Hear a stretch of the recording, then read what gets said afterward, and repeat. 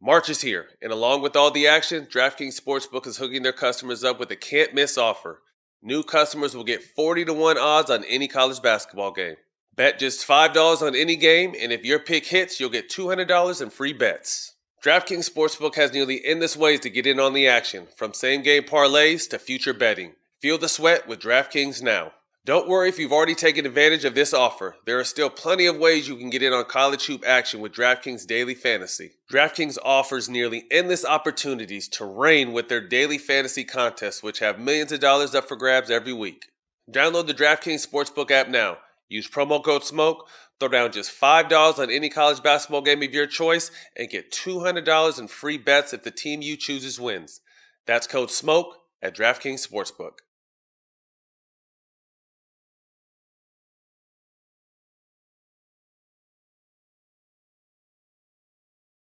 Finally, my question.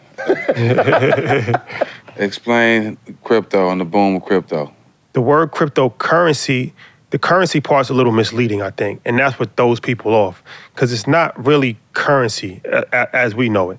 Because currency is like, all right, I have a dollar, I'm gonna give you a dollar. Tomorrow it's still gonna be worth a dollar, right? Yeah. Mm-hmm. But Bitcoin is more of a store of value.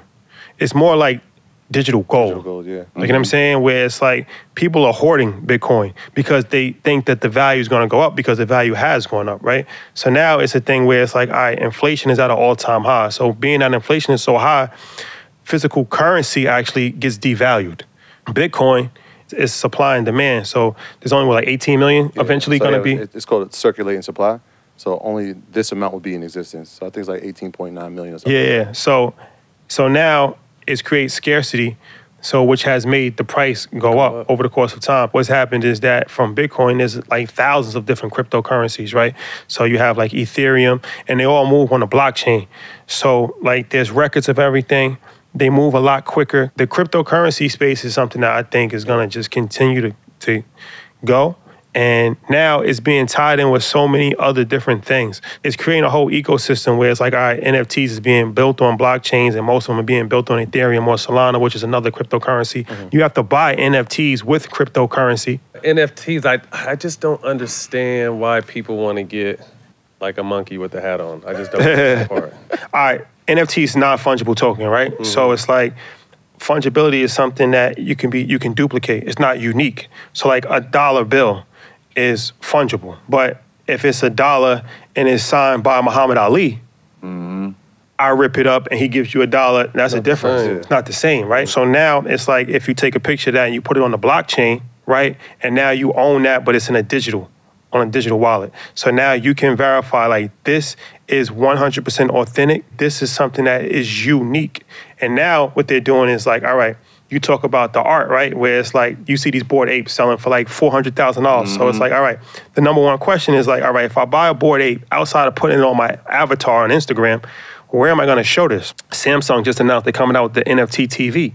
So now you're going to actually be able to display, buy NFTs. So now it's like it's no difference when you go to somebody's house and they got a wall Warhol or they got, you know, a, a dope painting that costs so much money. But then there's other uses of it. Like Nas, shout out to him, he just did something that was really dope where he he had an NFT, but the owners of the NFT get royalty rights to two of his songs. Mm. And like Meek Mill's putting out a mixtape and it's gonna be an NFT, but you gotta have Ethereum to buy it. Counterfeit shoes is huge, right? Like so now Nike's saying that they're gonna put they're gonna attach NFTs to every single shoe. So now you can verify Benefit. that Yep. your shoe is 100% authentic. It's not a knockoff. Yeah, and, and y'all, people who have social equity, right? Like, so y'all would be a prime example, right? You can attach an experience to it. It's funny. I was gonna say, how can we make this experience for this wall or something just to make it break it down a little more like an NFT? Right. So like imagine like you took the picture of this, this Okay. this space right here, and people got to bid on it, or this was an art piece, right? And people got to bid, but the experience was you get to be on all the smoke uh, once a year. Well, uh, let's do it for just one year. We get to be on the smoke for all the smoke for a year. Uh, we get to teach you how to do an actual podcast, right? You get to come to a live tapings. But imagine if you had like the guest was LeBron, Mm-hmm. and now that was what they were part of- bidding yeah. on. How much you think that ticket's going to be? Mm. Right. Million- and here's the thing: like, if somebody bought it at this price, and you put an expiration date, like this is the day of the taping, all the way up to that date, like maybe a week before, you could keep it there. But like somebody buys it, right, and they decide, you know what, I'm gonna sell it.